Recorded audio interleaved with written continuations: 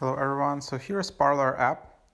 So how to sign up? Uh, so there you have it, this is your home screen.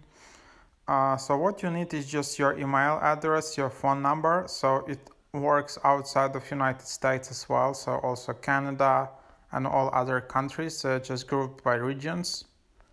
But you need a valid phone number to receive like uh, verification and then yeah before that you can also change your the app color. It's kind of fun feature.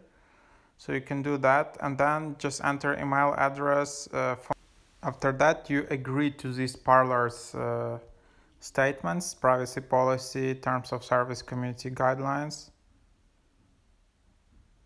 Uh, and then you will be proceeding with uh, your account. But of course I already created my account with these details so that's that's how you do it. Uh, but uh, like at the moment there isn't an option to sign up with facebook or google or twitter so it's only using your email and phone number